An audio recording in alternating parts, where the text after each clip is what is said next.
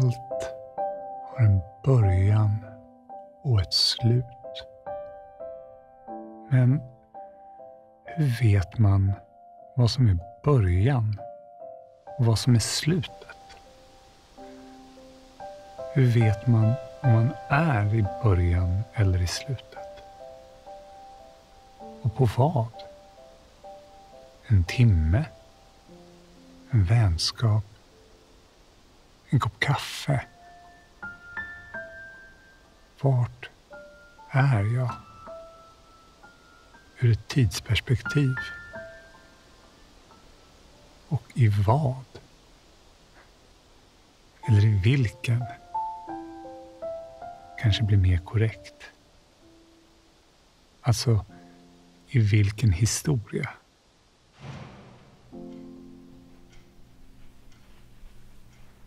Hur tycker du att det går?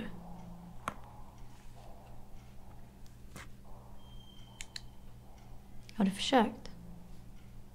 Ja, Har du försökt? nej, Varför inte? vet inte.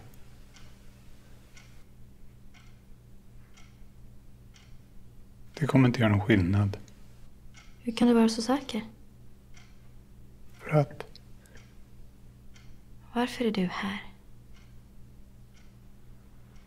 Egentligen.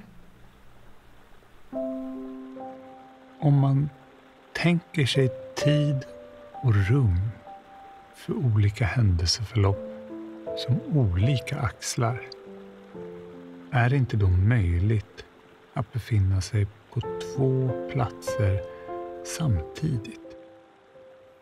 Man kan alltså vara en del av flera olika historier samtidigt. Historien om mitt liv, historien om den här terapisessionen. Jag existerar i båda.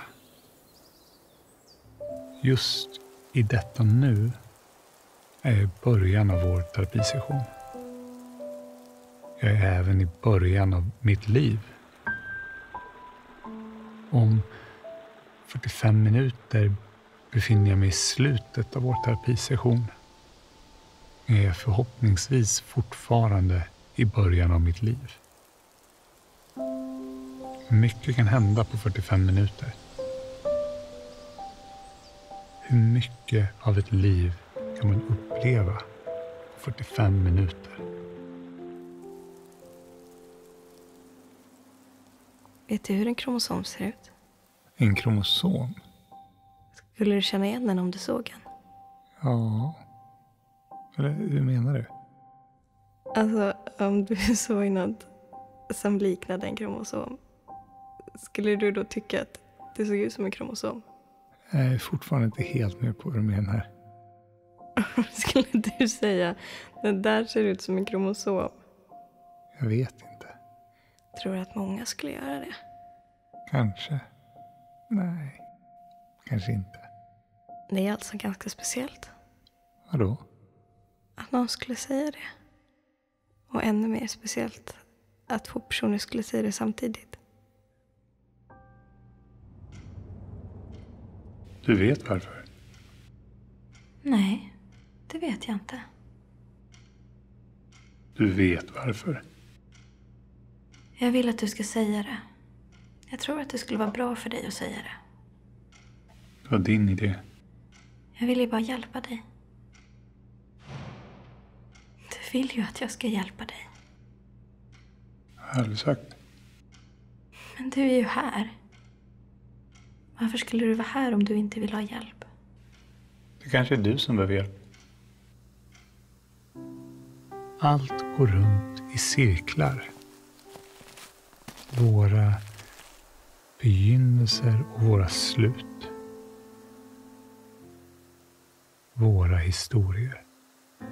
Ju fler människor du har i ditt liv, ju fler historier blir du en del av. Så bildar vi tillsammans livets mosaik.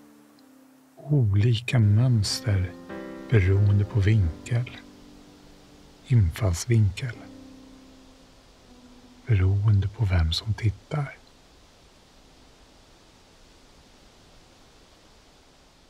Titta. Så här. Vad ser du? Mönster. Färgade glasbitar. Okej. Vad ser mönstren ut som? Jag vet inte. Titta igen. Säg det första du tänker på bara. Sådana där uppblåsbara gubbar som de har i USA. Som står utanför bilåterförsäljare typ. Röda. Ja. Vad får det dig att tänka på? Vad menar du? Ja, vad får det dig att tänka på? Men jag sa ju det. Om det skulle vara en bokstav? En bokstav. Mm. Kom igen. Försök. Ett eh, X eller ett Y kanske? ja, alltså beroende på om den har två ben eller bara en lång kropp. Och X och Y. Vad får det dig att tänka på? Du är här för att du vill gå vidare. Vi tänkte samma sak. Hade samma åsikter menar du? Nej. Vi tänkte på samma sak. Det kan kännas så när man har varit med någon länge. Att man delar varandras tankar. Ingen annan kommer göra det. Jo.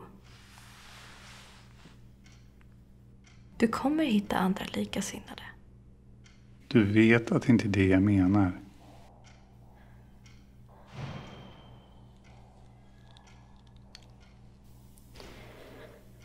Vad vill du att jag ska säga då?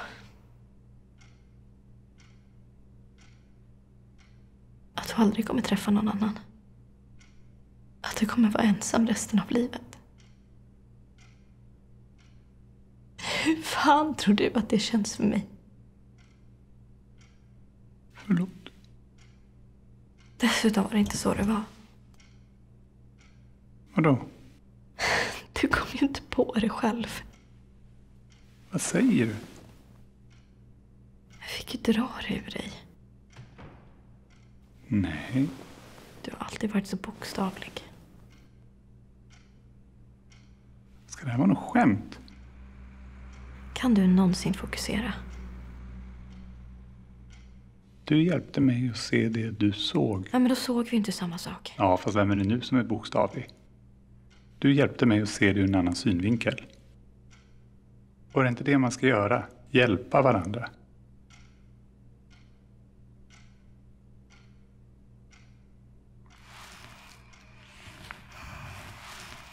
Det har fått alldeles för stor betydelse för dig. Du håller fast vid det som ett bevis på att förhållandet var unikt. Gör inte så här. Jag måste. Snälla. Du måste gå vidare.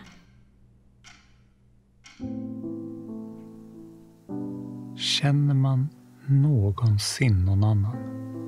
Eller har man bara lyckats peka sina kaleidoskop åt samma håll vid rätt tidpunkt och fått en glimt av den andres sanning? Kom igen nu. Jag vet inte. Jo, du vet. Jag älskar dig.